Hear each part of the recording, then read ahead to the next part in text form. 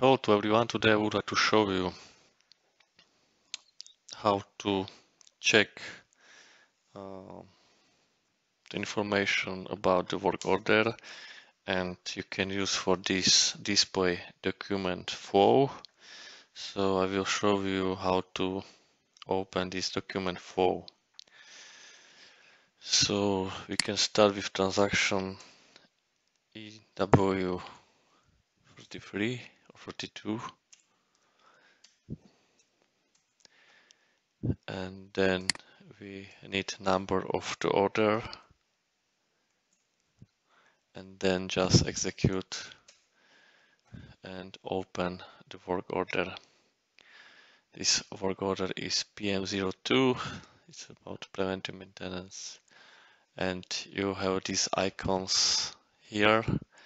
And this icon main document flow is possible to open also, also with keys onto your keyboard Ctrl push F11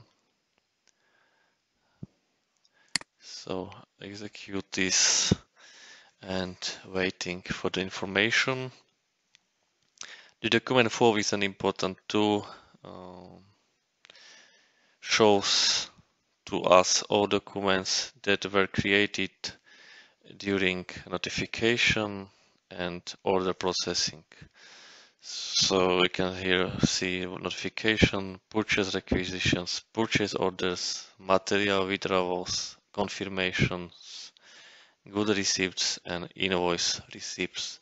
So we can see here the maintenance notification, order assigned notification, then preventive maintenance order, confirm uh, pre-costed settlement rule, purchase order on this uh, work order, uh, delivery completed, when uh, good rece received, and also the invoice documents, and operation and confirmation of the hours of the technicians.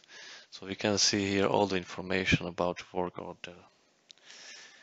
Uh, I think that's all.